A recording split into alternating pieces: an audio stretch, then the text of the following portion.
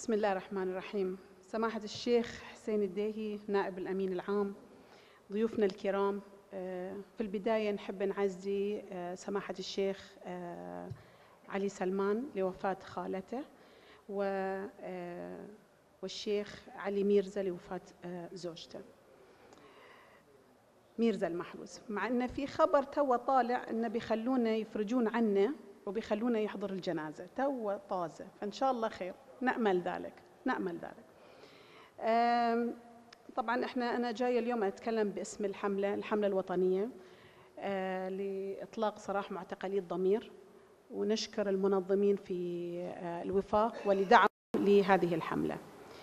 آه، حملة أنا حر هي حملة أنتم تعرفون بديناها صار لنا تقريبا شهر من دشناها. في خلال هذا الشهر في web page موجودة في الكمبيوتر. أو في ال website موجودة هناك. ونأمل أن الكل يمليها. هي بيانات ولازم يملي كل واحد آه، بيانات المعتقلين فيها. حبيت أعطيكم بس ولو نبذة قصيرة عن هذه آه، ال web page ولحد الآن كم وصل الأعداد عندنا؟ ولو أنها صار لها تقريبا ثلاثة أسابيع من تم تفعيلها تفعيل أجزاء منها. استغربت اليوم إن أنا أكتشف إن اللي دخلوا على الويب بيج 3425 شخص. تخيلوا 3425 شخص يدخل بس اللي سجل فيها 161 فقط لا غير.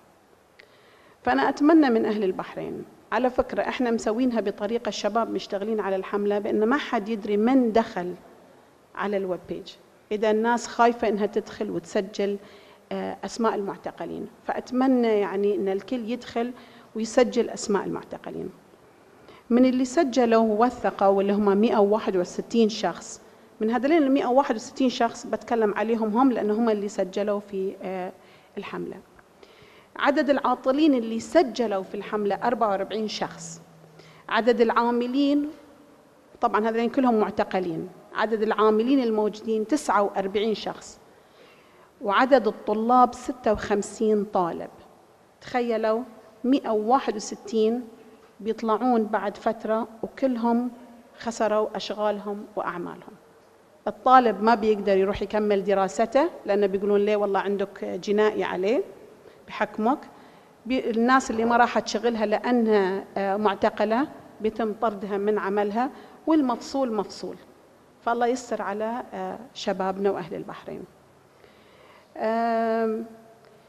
المداهمات. من 161 واحد يقول لك تم اعتقالي من المنزل تقريبا ما يقارب 112 شخص. هاي أرجع أعيد من البس المجموع ال 161 من نقاط التفتيش 17 واحد. ومن مناطق أخرى يا من العمل يا رايح يقدم جواز يا رايح يسوي آه، يقدم على البنك. في ناس كانت تتعشى في مطعم ودخلوا عليهم وحاوطوهم وشالوهم. هذه كلها من محلات مختلفة تم اعتقال آه، الشباب. الطلاب الطلاب صدق عوروا قلبي صراحة. يوجد هناك ثلاثة أشخاص في الوقت الحالي من المئة وواحد وستين أحمد خليل إبراهيم وعلي السميع وعلي مكي علي أحمد. ثلاثتهم لحد الآن محجوزين على ذمة التحقيق وصار لهم تسعة شهور على ذمة التحقيق. يعني للحين ما ودوهم نيابة ولا حكموهم. تخيلوا تسعة شهور هو قاعد ينتظر. عندنا من الطلاب أربع أكاديميين من كلية الخليج للطيران.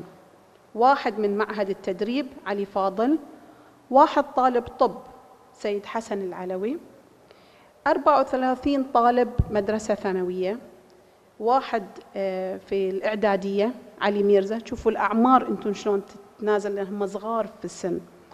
و15 طالب من جامعة البحرين. يعني ما يقارب عندي 57 آه، طالب.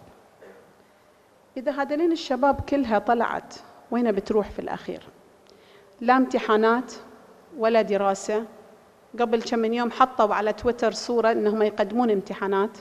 أسأل أمهات الشباب بالذات أم المعتقل إبراهيم المقداد اللي هو أصغر إرهابي أنا بسميه معتقلينه تحت قانون الإرهاب وحكموه بعشر سنوات وعمره 15 سنة. فتسأله أمه شلون سويت في امتحان؟ يقول أي امتحان؟ ما نقدر ندرس داخل العنبر هذا واحد. وإذا الكتب مو متواجدة. في نفس الوقت لما يقعد ويقدم حق الامتحان كل السكيورتية فوق راسهم فما في مجال إنه هو يقدم امتحانه. فأنا امل إن في شيء يتم حول هذا الموضوع للطلبة. آه، وضع السجون وضع السجون مثل اللي سردوه آباء الشهداء وهم عزنا وكرامتنا. آه، وضع السجون نفسه اللي في الحوض آه، الجاف هو نفسه في جو. شكاويهم نفس الطريقة. الماء ما يكفي برانيس مو موجودة الحبوب الأمراض ما يعطونهم حبوبهم أو يخلطون الحابل بالنابل فهذا موجود في سجوننا.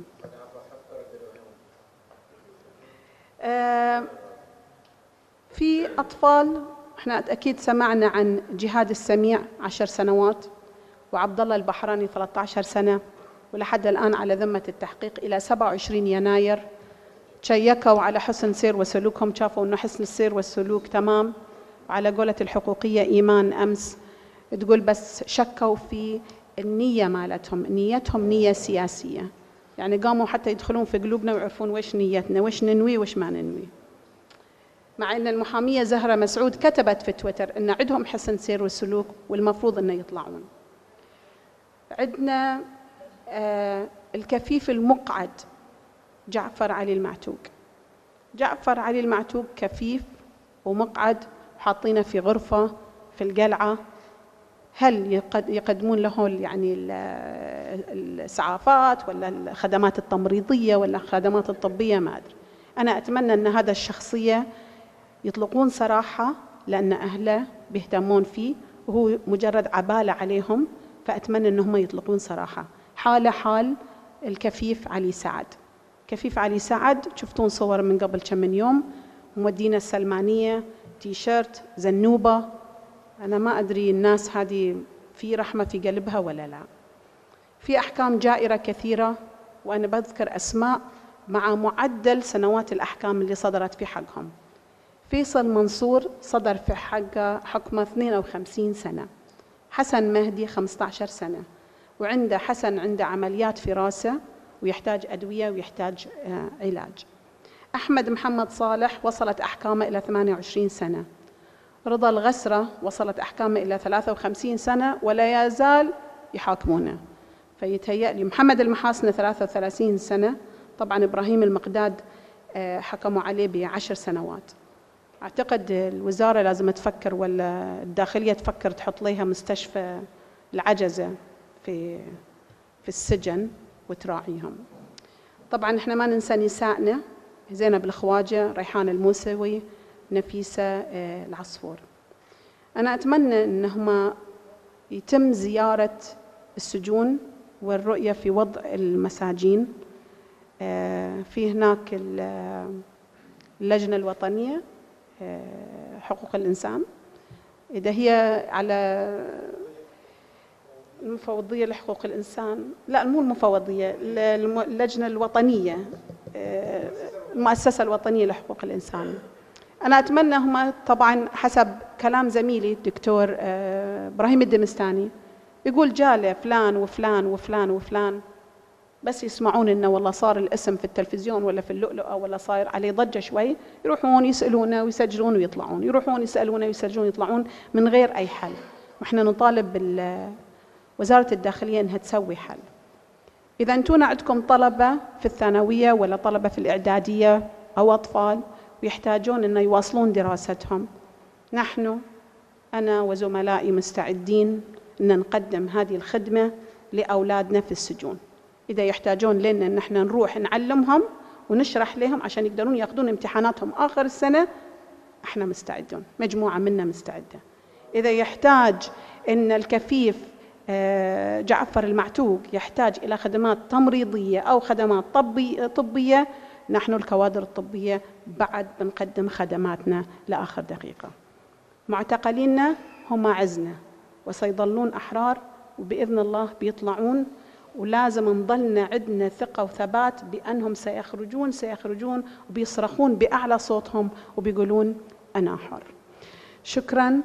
وعدي بس أقدم إلى نائب الأمين العام بس مجرد رسالة نقول شكرا لكم لتضامنكم مع حملة أنا حر شكرا لكم.